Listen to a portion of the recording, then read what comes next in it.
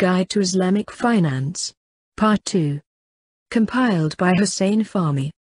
Classification of riba. 1. The first and primary type is called riba an-naziyah or riba al-jahiliyyah. 2. The second type is called riba al-fadl, riba an-naqd or riba al-bay'i. Since the first type was specified in the Quranic verses before the sayings of the noble prophet, this type was termed as riba al-Quran. However the second type was not understood by the Quranic verses alone but also had to be explained by the noble prophet. It is also called riba al-Hadith. riba and Nazir. This is the real and primary form of riba. Since the verses of Noble Quran has directly rendered this type of riba as haram. Similarly since only this type was considered riba in the Dark Ages, it has earned the name of riba al-Jahiliyyah. Imam Abu Bakr Jassas Razi has outlined a complete and prohibiting legal definition of riba and nazir in the following words. That kind of loan where specified repayment period and an amount in excess of capital is predetermined. One of the hadith quoted by Ali ibn Abi Talib, R.A.A., has defined riba and nazir in similar words. The noble prophet said, every loan that draws interest is riba. The famous Sahabi Fazal bin Ubayd has also defined riba in similar words, every loan that draws profit is one of the forms of riba. The famous Arab scholar Abu Ishaq az-Zajjaj also defines riba in the following words, every loan that draws more than its actual amount. Riba and nazir refers to the addition of the premium which is paid to the lender in return for his waiting as a condition for the loan and is technically the same as interest.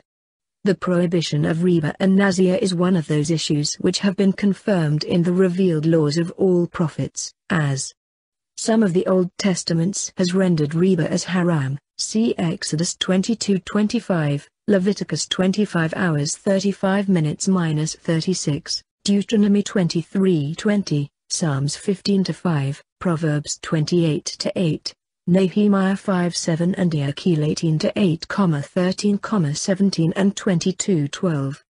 The Noble Quran has also stated the prohibition of riba in various verses, has warned those who persist in practicing it of a war which is certain to be declared on them by Allah himself and his messenger and has seriously threatened those engaged as writer, witness and dealer in riba transactions. These verses and our hadith will be discussed at length in a separate chapter called the prohibition of riba in the light of noble Quran and hadith. According to the above definition of riba and nazir, the giving and taking of any excess amount in exchange of a loan at an agreed rate is included in interest irrespective whether at a high or low rate. It has been proven through hadith that the noble prophet paid excess at the loan repayment time but since this excess was not paid through an agreed rate, it cannot be called interest. This clarifies that the word draws in the hadith definition the loan that draws interest is riba has been used to highlight the giving and taking of excess amount through an agreed rate in the loan contract. Due to this, Imam Abu Bakr Jassas has added the word condition to the definition. The fact that riba and nazir is categorically haram has never been disputed in the Muslim community. In short, the riba of today which is supposed to be the pivot of human economy and features in discussions on the problem of interest is nothing but this riba, the unlawfulness of which stands proved on the authority of the seven verses of the Quran, of more than 40 hadith and of the consensus of the Muslim community. Wisdom behind the prohibition of riba and nazir. First of all, we should realize that there is nothing in the entire creation of the world, which has no goodness or utility at all but it is commonly recognized in every religion and community that things which have more benefits and less harms are called beneficial and useful. Conversely, things that cause more harm and less benefit are taken to be harmful and useless. Even the noble Quran, while declaring liquor and gambling to be haram, proclaimed that they do hold some benefits for people but the curse of sins they generate is far greater than the benefits they yield. Therefore, these cannot be called good or useful, on the contrary, taking these to be acutely harmful and destructive, it is necessary that they be avoided. The case of riba and nazir is not different. Here the consumer of riba does have some casual and transitory profits apparently coming to him, but its curse in this world and in the hereafter is much too severe as compared to this benefit. The riba consumer suffers such a spiritual and moral loss that it virtually takes away the great quality of being human from him. An intelligent person who compares things in terms of their profit and loss, harm and benefit can hardly include things of casual benefit with an everlasting loss in the list of useful things. Similarly no sane and just person will say that personal and individual gain which causes loss to the whole community or group is useful. In theft and robbery for example, the gain of the gangster and the take of the thief is all too obvious but it is certainly harmful for the entire community since it ruins its peace and sense of security. Riba al-Fadl The second classification of riba is riba al-Fadl.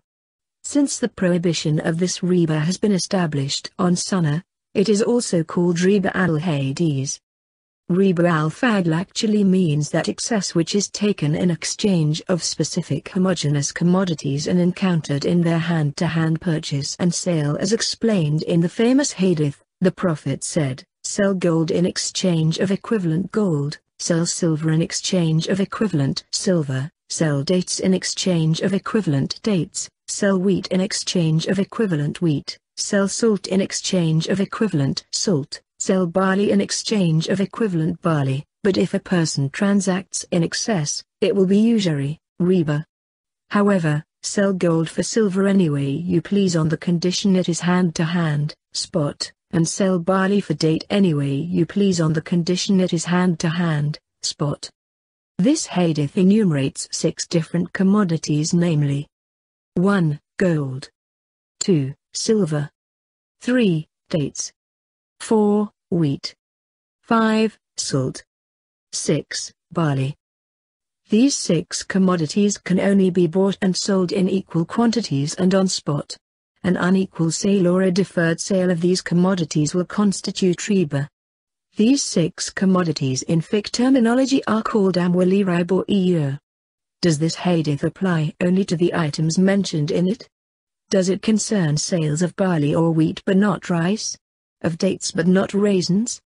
A complete legal definition differs in every fiqh.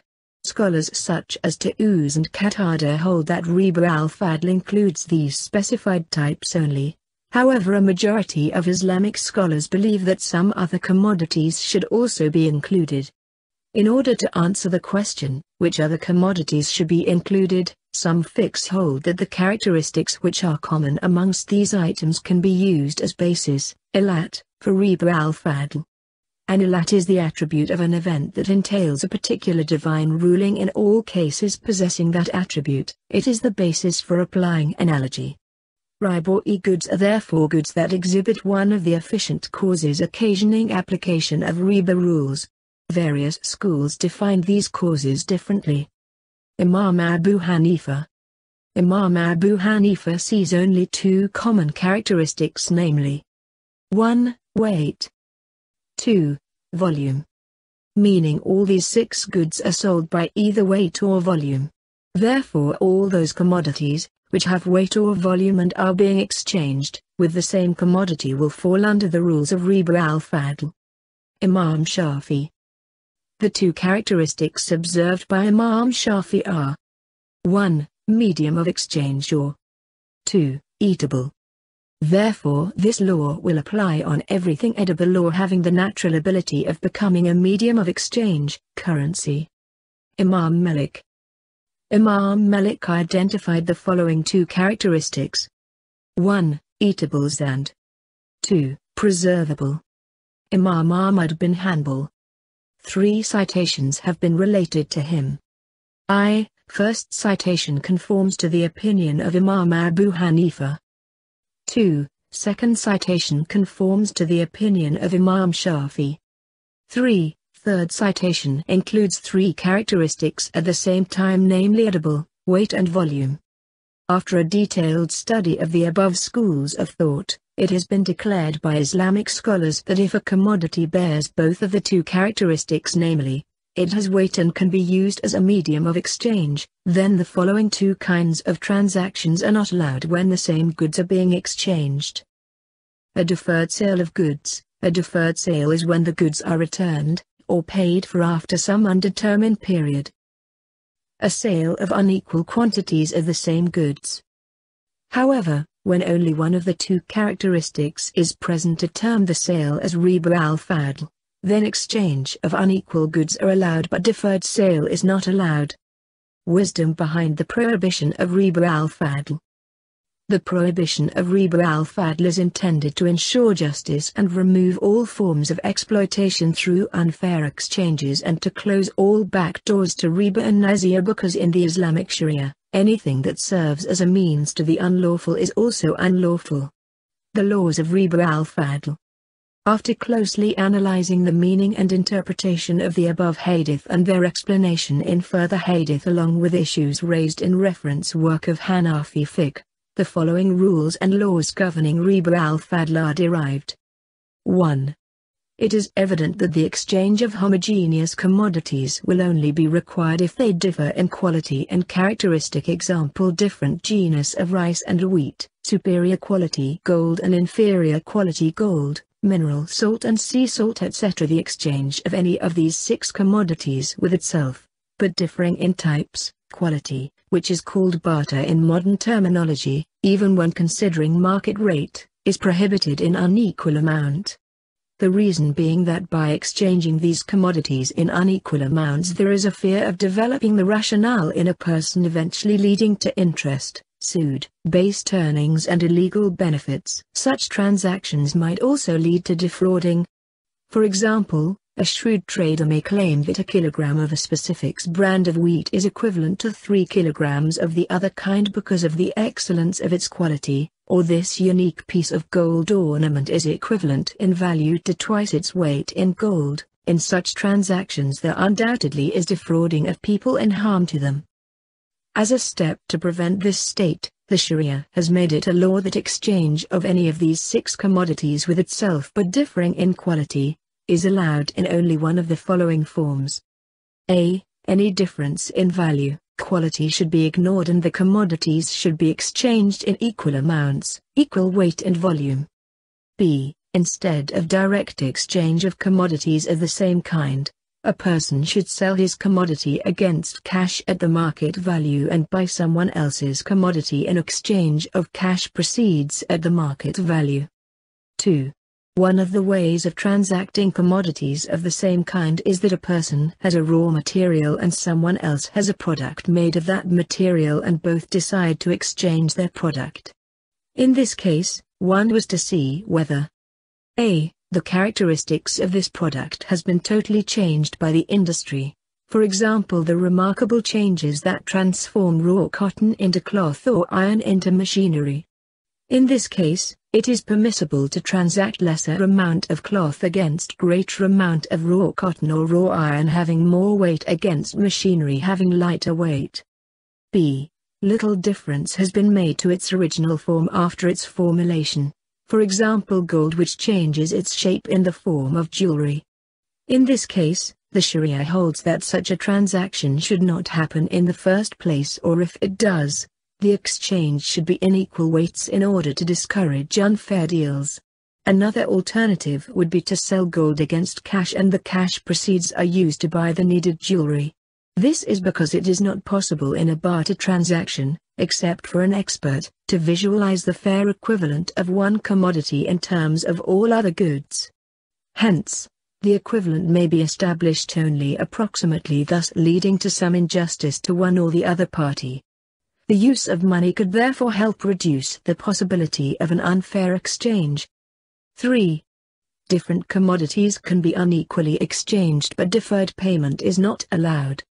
For example 1 kg wheat can be sold against 2 kg date or 1 gram of gold can be exchanged against 4 grams of silver on the condition that they are spot transactions, reason being that such a transaction will surely be carried on the market rate.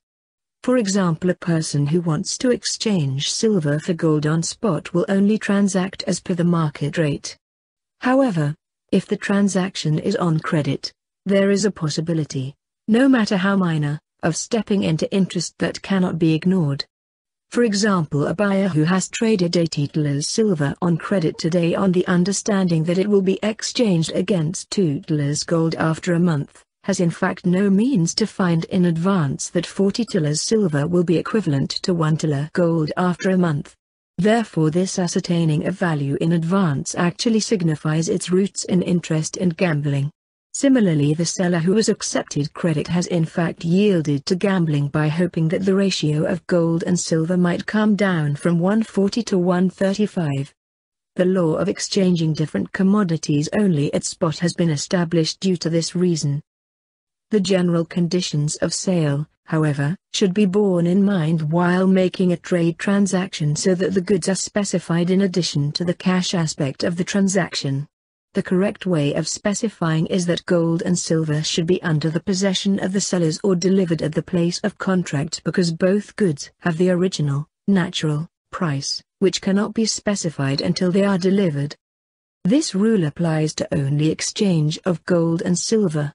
Other goods can be exchanged against each other without delivery and can be specified any other way but will be restricted to cash transaction. For example Zaid made a spot sale of 1 kg wheat to Bakar with 2 kg salt against future delivery after having identified their goods. This transaction is allowed in Sharia since it meets both conditions. The transaction is on spot. It is also specified. However, if Zaid was selling 1 tilla gold to Bakar against 40 tilla silver, then it is necessary that both take delivery of their purchased goods at the place of contract because without delivery, goods cannot be specified. To sum up, the Hanafi jurists maintain that in case of commodities that weight or measure, it is illegal to transact unequally or on credit. But in case of different commodities unequal exchange is legal but credit remains illegal, the transaction in this case too should be spot. Commercial interest and usury in the 17th century, two new technical terms of interest emerged after the establishment of banking system, namely 1. Tijati Sud, commercial interest, interest paid on loan taken for productive and profitable purposes. 2. Safi Sud, usury, interest paid on loan taken for personal need and expenses. The background of both types, the present-day banking system, which has given interest the moral and legal license, is the backbone of the prevalent capitalism. When Muslim countries became subjugated to West in their economic field, some westernized Muslims in the 19th century, on one side, saw the increasing progress of the West in trade and industry and on the other side saw the shattering economic condition of fellow Muslims states. They also became conscious of the fact that banking is inevitable in the field of trade and industry not only on national level but also internationally. This prompted them to say that only usury is haram, illegal, but not commercial interest because rendering commercial interest haram would pose irresolvable problems to their way up to industrialization and economic progress. They only included usury in the term riba as categorically prohibited in the Noble Quran and Sunnah and freed commercial interest from it calling it totally different from the Western concept of interest. Therefore, it was concluded that the prohibition of riba was restricted to usury while commercial interest was perfectly Islamic. There are two schools of thought on this issue. A detailed analysis of their arguments is discussed as under 1. First School This school presents two arguments to support their point that only usury, not commercial interest, is prohibited in Islam. Argument 1. Riba as practiced during the days of the Prophet was only usury. Counter-argument. This claim is groundless, since Islam when prohibiting something does not only prohibit one form of it that is prevalent, but all forms that might erupt in future. The changed state does not change the ruling for example the Noble Quran has prohibited the following. A. Liquor, khamar, during the time of Prophet its form and the way of production was totally different from that of the present-day liquor but the ruling remains unchanged even though the form has changed. B. Pork, khinzir, irrespective how clean the present-day breeding of pigs in high-class farms may be, pork will stay prohibited and cannot be rendered whole, legal. C. Corruption, immorality, al-fahsha, Although a lot of sophisticated ways have been developed of this evil from the time of Quranic revelations prohibiting it, the ruling stands forever. The same applies to interest and gambling. By claiming that it was in a different form during Prophet's time does not change its ruling. It remains unchanged just as in case of khamar. Khinzir and Al-Fahsha. Argument 2. Commercial interest did not exist in the days of Prophet. Counter-argument. This claim is also wrong. If one glances through the Islamic and pre-Islamic history of Arabia, it will be evident that the interest type at that time was not restricted to usury but loans were granted for commercial and profitable purposes. To quote some examples. A. The tribe of Amr bin used to take interest from the tribe of Mughira. At the advent of Islam, Mughira owed heavy interest to Amr bin. In this narration, the transaction of interest between two tribes of Arabia have been pointed out who actually operated as trading companies. Both tribes were very wealthy. Could it be that two wealthy tribes transacted interest just for personal need and expenses? The interest was simply commercial. B. History of the city of Taif tells us that it was only second to Mecca in trade, their main exports being liquor, raisins, currants, wheat, wood etc., an industry, major being leather and dyeing. The tribe of Thaqif, Jewish tribe, advanced cash on interest, not only to the natives of Taif, but the business community of Mecca as well example the tribe of Mughira who were their permanent customer. This advancement, which was not only restricted to cash but also to commodities between wealthy tribes of Taif and Mecca who were usually traders and businessmen, was only for their commercial purposes and not for their consumption and personal needs. One of the ways of receiving interest was to double the principal amount plus interest in case of non-payment of loan and this practice was applied to both cash as well as commodities. They had become accustomed to it. At the time of signing the peace treaty with the people of Taif, the Prophet imposed conditions, i. total elimination of interest-based transactions. 2 giving up of interest owed to and from them. C. The practice of making two trade trips, one to Yemen in winters and the other to Syria in summer was started by the tribe of Quraysh of Mecca. These trips proved to be very profitable especially since being custodians of Kaaba, Quraysh were looked at with respect, granted special concessions and protected in transit which was a necessity at that time. This way business and trade became their only means of livelihood. Investment became the order of the day in which women also took part and its circulation flourished and multiplied. With this background in mind, one can easily visualize that the city of Mecca more or less became the clearing house or the banking city and accustomed to their related amenities. It was only natural that interest was one of them since they advanced cash for commercial purposes and charged compound interest in case of default by the traders, and this earning of interest was their trade. They argued when the Noble Quran rendered interest haram, illegal, that the transaction of interest-based loans is a type of trade in which the return on capital can be earned as in the case of rent received from assets. They could not differentiate between excess in shape of profit during a trade and excess in the shape of interest at the time of repayment of loan. D. Therefore in pre-Islamic days, we see that Sidna Abbas bin Abdul Muttalib and Sidna Khalid bin Walid formed a company with joint capital whose prime business was cash advancement on interest. Similarly Sidna Usman was one of the wealthy businessmen who lent money on interest. There were many other traders dealing full-time in interest extending a network of interest-based transactions. E. The way Sidna Zubair bin Am, who was famous for his trustworthiness, operated was quite similar to that of modern banking system. People used to deposit with him their capital as amana, trust or security. However, Sidna Zubair used to make it clear to the depositors that he would accept the deposits as a loan and not as security, amana because he knew that he will not be fully liable according to Sharia in case these amanas got destroyed but in case of having them as a loan, he will be fully liable to pay them back. He was afraid that in case of losing any deposited amount, his image as the trustworthy caretaker would be damaged. He therefore used the term loan for such deposits to ensure guaranteed payment so that he enjoys everyone's confidence in him.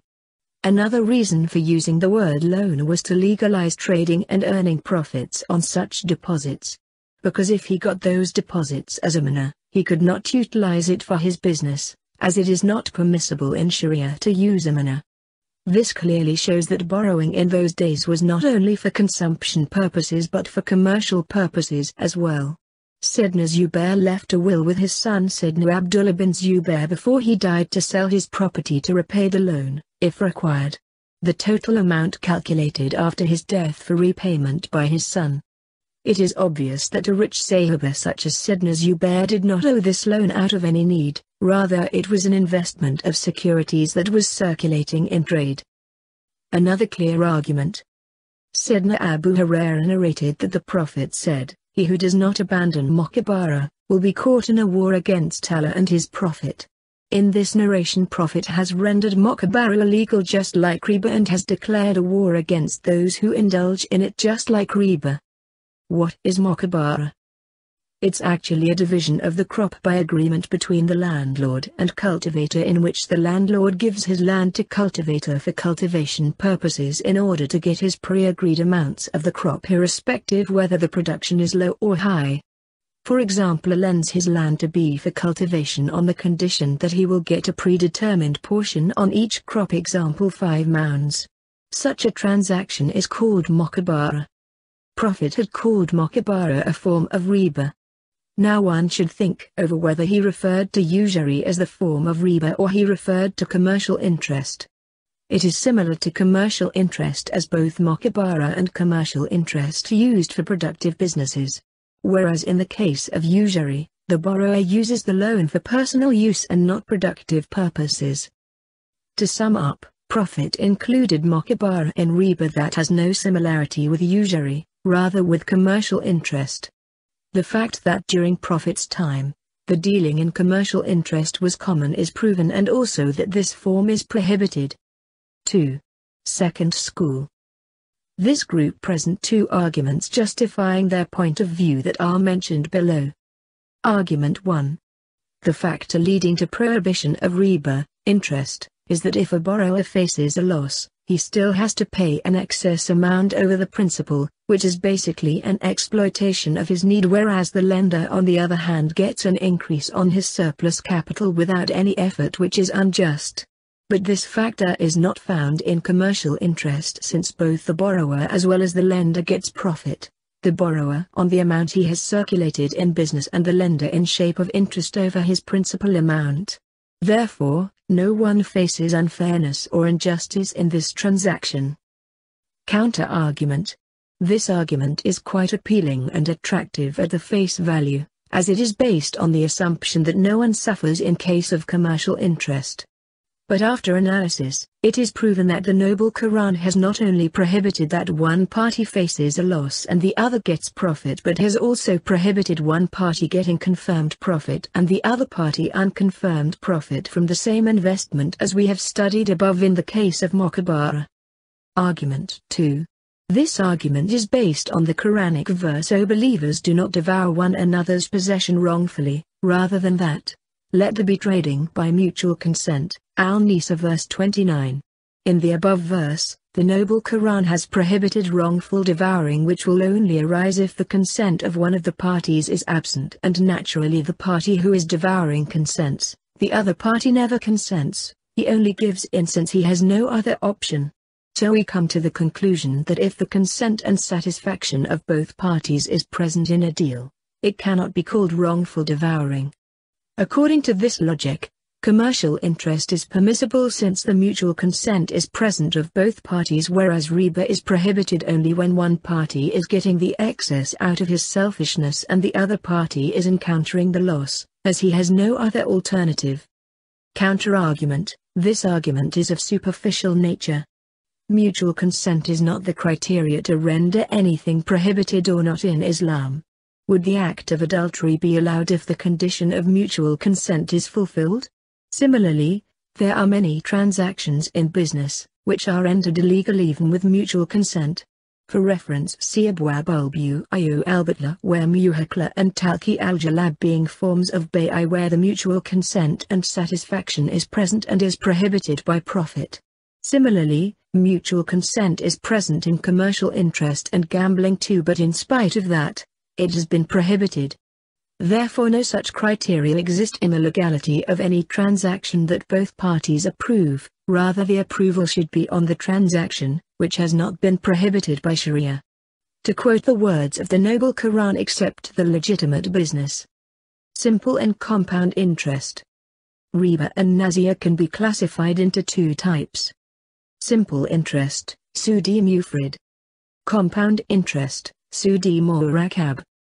Definition of simple interest, interest calculated only on the initial investment. Definition of compound interest, reinvestment of each interest payment on money invested, to earn more interest. During the pre-Islamic era, when a borrower used to fail to pay back the principal and interest charged on him, then the lender used to extend the loan on the condition that the interest will also become part of the loan, essentially compound interest. The following verses of the Noble Quran were revealed in order to stop the people from such practices. O believers, take not doubled and redoubled interest, and fear God so that you may prosper. Surah Al-Imran, verses 131. To eradicate this abominable practice of the period of ignorance, this verse was revealed. By mentioning the practice of doubling and redoubling, it was condemned and declared unlawful in view of its adverse impact on the community and the selfishness that it bred. It does not mean that if there is no doubling and redoubling, that is, if there is simple interest, in today's jargon, then it is lawful. No. In Surah Al-Baqarah, the cow, and Surah An-Nisa, the women, the prohibition of interest in its entirety and in absolute terms is clearly mentioned, whether or not there is doubling and redoubling. Since the aforementioned verse prohibits the compound interest only, some people misinterpret it even today that compound interest alone is forbidden in Islam, not the simple interest.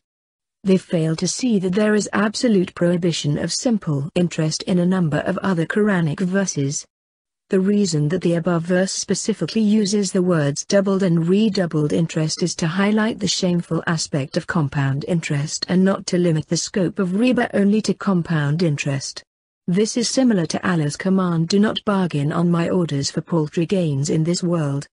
The reason for mentioning paltry gains is that even if all conceivable material goods and luxuries of this world are obtained in exchange for ignoring Allah's commands, even then this is a paltry gain. It does not obviously mean that it is prohibited to obtain paltry gains but permissible to obtain, by one standard or judgment, a hefty price. Similarly, in the ayat under consideration, the mention of doubling and redoubling is to condemn the shameful practice rather than limit its permissibility. Verses on absolute prohibition of simple and compound interest. O believers, fear God and give up the interest that remains outstanding, that is whether it is simple interest or multiplied interest, if you are believers. Surah al-Baqarah, verse 278, If you do not do so, then be sure of being at war with God and His Messenger. But, if you repent, you can have your principal, only, not any kind of interest or premium. Neither should you commit injustice nor should you be subjected to it. Surah al-Baqarah, verse 279. The above two verses demand to abandon the amount of riba and directs that only the principal amount should be paid back, nothing in excess. The second verse explains that any excess on principal, no matter how insignificant, is cruel. The following hadith also proves that both simple and compound interest are forbidden. Listen. All riba liable to you in the pre-Islamic days have been completely eliminated. You have to pay back the principal amount only neither hurt someone nor get hurt by someone. And the first riba to be completely eliminated is Abbas bin Mutalib's. The above evidence proves that the claim that only compound interest is prohibited and any riba less than that is allowed in Islam, is wrong. Any amount in excess of the principal fixed in the contract of a loan is called riba and nazir. If simple interest is accepted, it can also be used to give out additional loans, which will again pay out simple interest. In effect, the interest will keep on becoming part of the principal, which is essentially compound interest. Section 3. Islamic Contract In Islamic jurisprudence what is the ruling of putting a condition on a contract or agreement? There are four basic rules for judging the validity of conditions in a contract. 1. A condition, which is not against the contract, is a valid condition. 2. A condition, which seems to be against the contract, but it is in the market practice, that type of condition is not void, if its voidness is not proven with the clear injunctions of the noble Quran and Sunnah.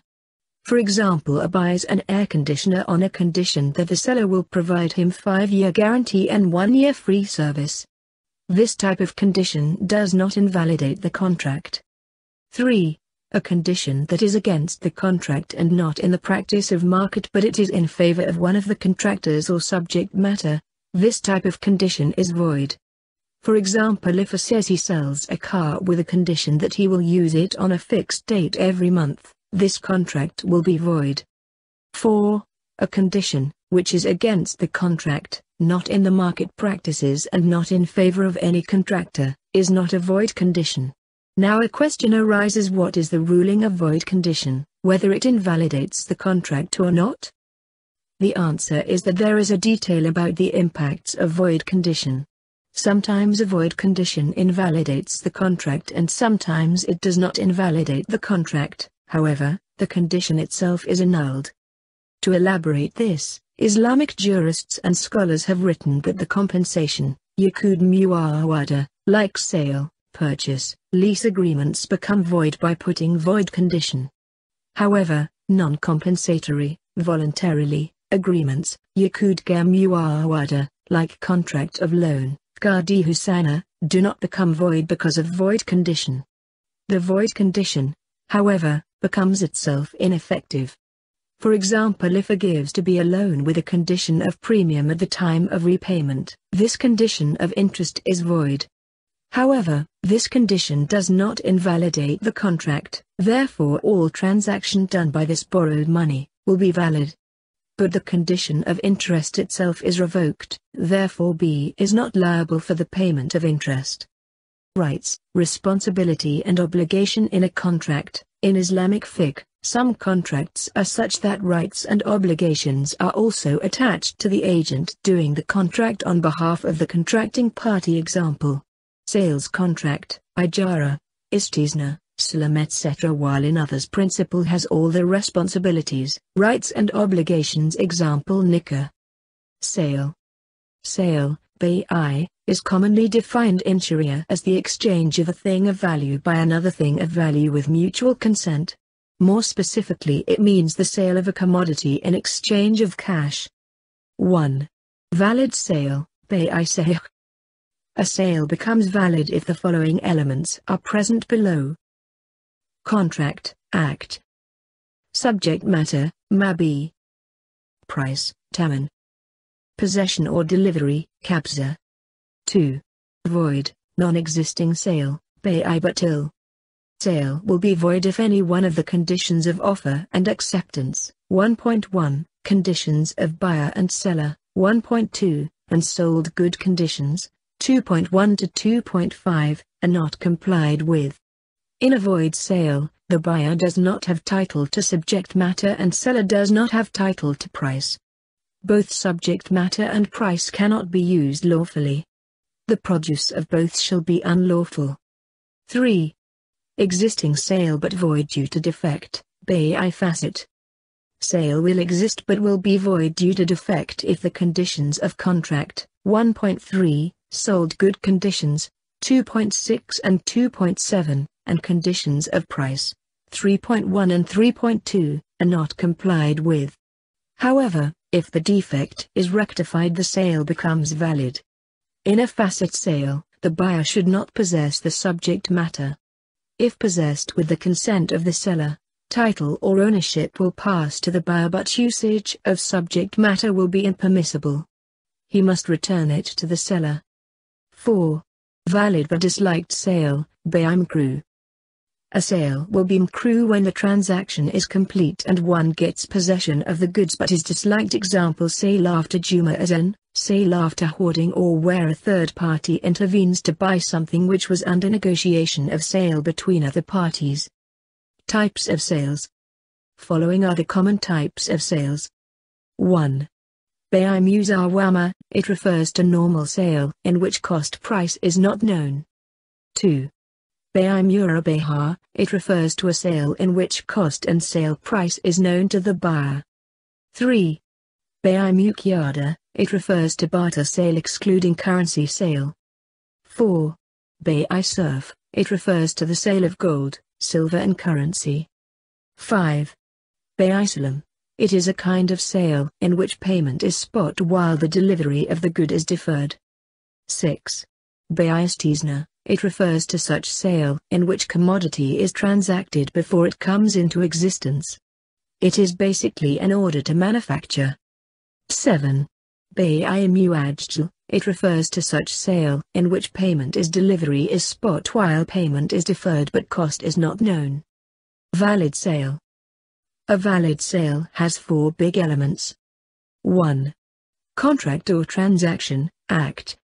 1.1 Offer and Acceptance, Ijabo Kobul, the term offer means that one person proposes to either sell his commodity to another person or buy from him and acceptance means that the person who has been offered gives his approval of the proposal. Offer and acceptance are always done in past tense example I have sold or I have purchased etc. There are two ways of doing it. 1.1.1 Oral, Quali, by saying. 1.1.2 Implied, Ishara, by indicating. This is of two types. 1.1.2 A credit sale, Istijra, example settlement of the bill at the end of the month. 1.1.2b Hand-to-hand sale, Tati, exchange of money with goods without uttering Ijabo Kobil for procedure adopted in contemporary stores. 1.2 Buyer and seller, Muta Aquadine, both must be. 1.2.1 Sane, should be mentally sound at the time of contract. 1.2.2 Mature, should be adult, however, if minor, must understand the nature of transaction. 1.3 Conditions of Contract, Shariati Act. 1.3.1 Sale must be non-contingent, the delivery of the sold commodity to the buyer must be certain and should not depend on a contingency or chance. Example A sells his car stolen by some anonymous person to B who purchases it in the hope that he will manage to recover it. The sale is void. 1.3.1 A Unconditional Contract the sale must be unconditional for example. A buys a car from B with a condition that B will employ his son in his firm. The sale is conditional and hence invalid. 1.3.1 Be under reasonable conditions, the conditions which do not go against the contract for example it tells B to deliver the goods within a month, the sale is valid. 1.3.1 C under unreasonable condition but in market practice, if a sale is under unreasonable condition but is in market practice, the sale is valid. For example A buys a refrigerator from B with a condition that B undertakes its free service for two years. The condition being recognized as a part of the transaction, is valid and the sale is lawful. 1.3.2 Sale must be immediate, the sale must be instant and absolute. Thus a sale attributed to a future date or a sale contingent on a future event is void. If the parties wish to effect a valid sale, they will have to effect it afresh when the future date comes or the contingency actually occurs. Example A says to be on the 1st of January, I sell my car to you on the 1st of February. The sale is void, because it is attributed to a future date. Similarly, if A says to B, if X party wins the elections, my car stands sold to you, the sale is void because it is contingent on a future event. 2. Sold good or subject matter, mu b. 2.1 Existable, the subject matter of sale must exist at the time of sale. Thus, a thing which has not yet come into existence cannot be sold. If a non-existent thing has been sold, even with mutual consent, the sale is void according to Sharia. Example A sells the unborn calf of his cow to B. The sale is void. 2.2 Valuable The subject of sale must be a property of value. Thus a thing having no value according to the usage of trade example a leaf or a stone on a roadside cannot be sold or purchased. 2.3 Usable The subject of sale should not be a thing which is not used except for a haram purpose, like pork, alcohol etc. 2.4 Capable of ownership slash title The subject matter should not be anything, which is not capable of ownership, title for example sea or sky. 2.5 Capable of delivery slash possession, for example an unconstructed building, cannot be possessed since it is non-existent. 2.6 Specific and quantified, the subject of sale must be specifically known and identified either by pointing or by detailed specification that can distinguish it from other things, which are not sold. Example There is a building comprising of a number of apartments built in the same pattern. The owner of the building says to B, I sell one of these apartments to you, B accepts.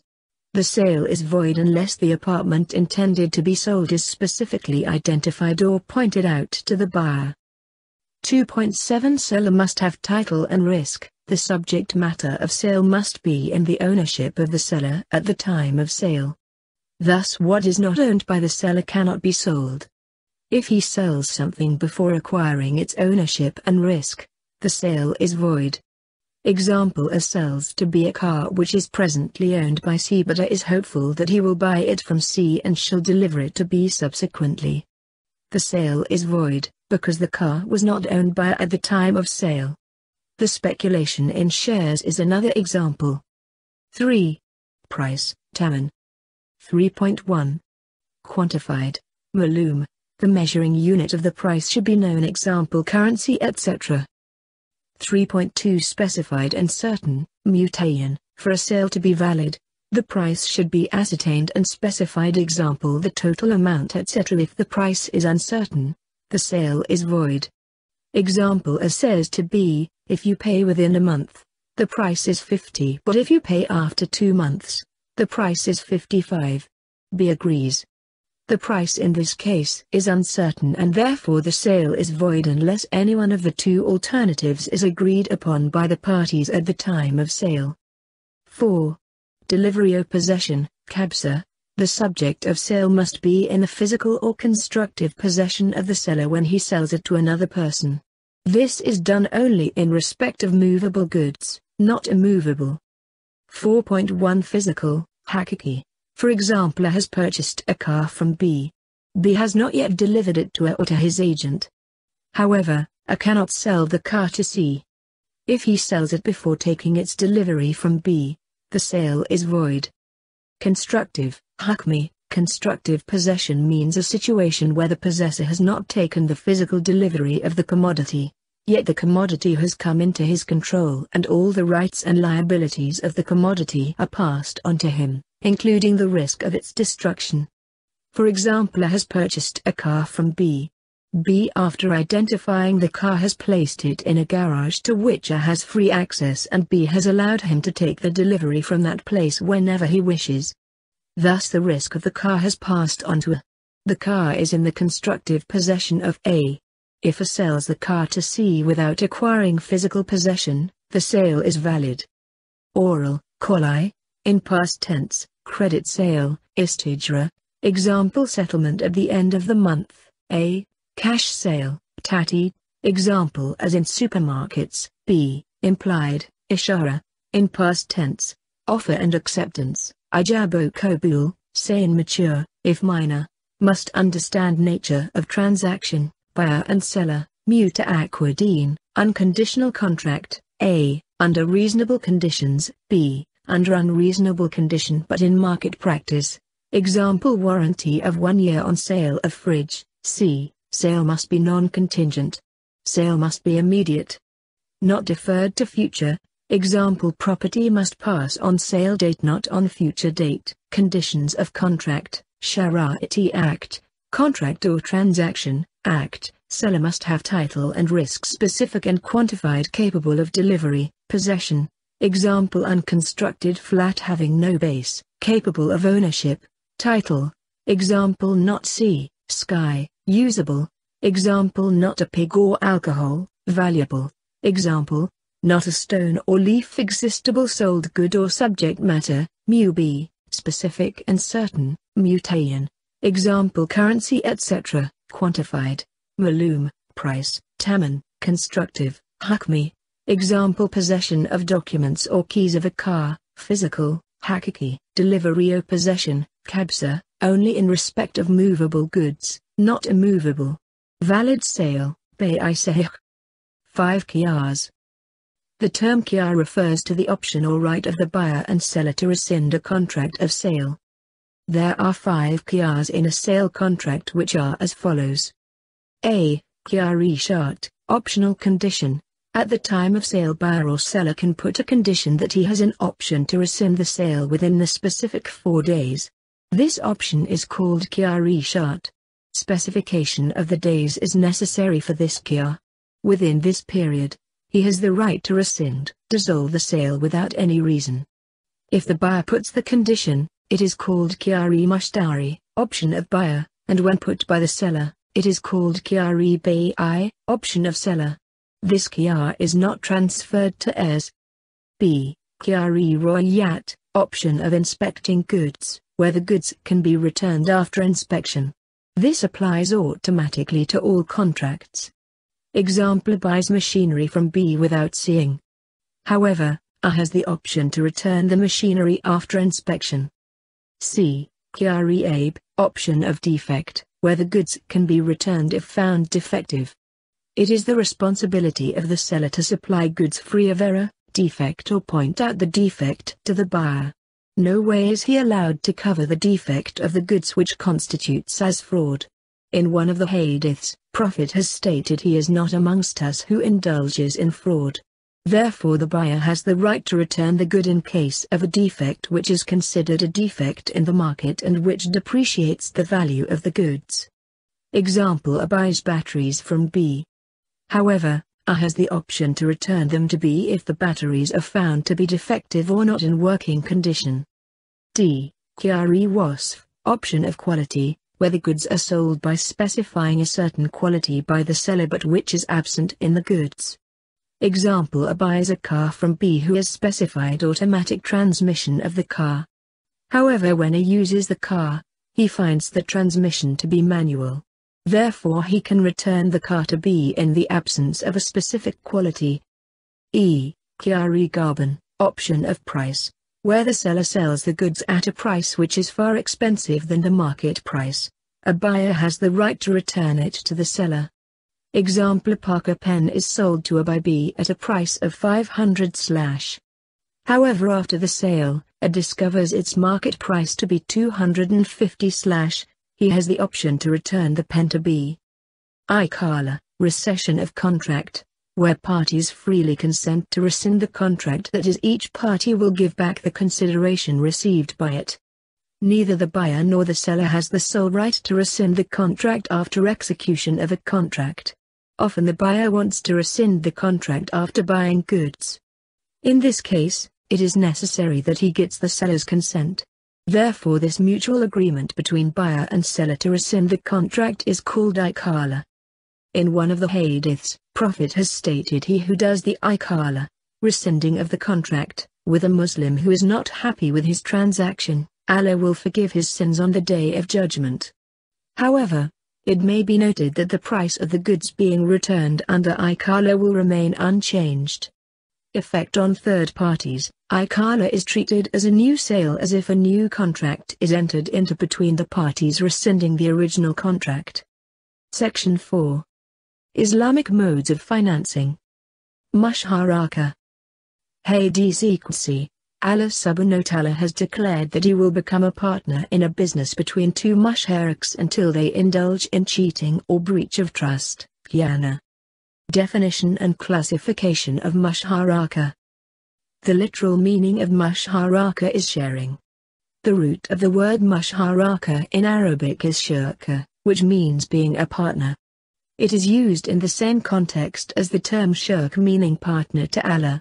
Under Islamic jurisprudence, musharaka means a joint enterprise formed for conducting some business in which all partners share the profit according to a specific ratio while the loss is shared according to the ratio of the contribution.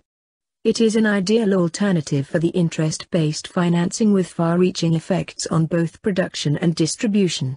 The connotation of this term is little limited than the term shirka more commonly used in the Islamic jurisprudence.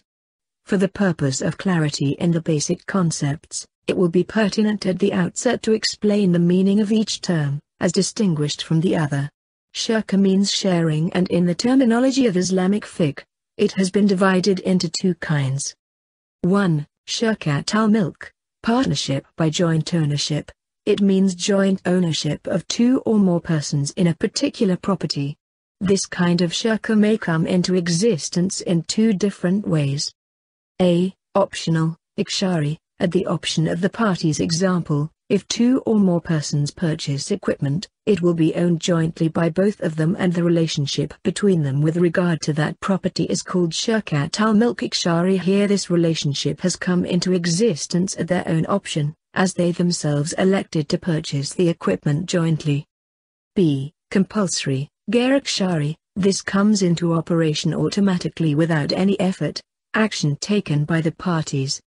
For example, after the death of a person, all his heirs inherit his property, which comes into their joint ownership as a natural consequence of the death of that person. Continued in Part 3. Compiled by Hussain Fahmy.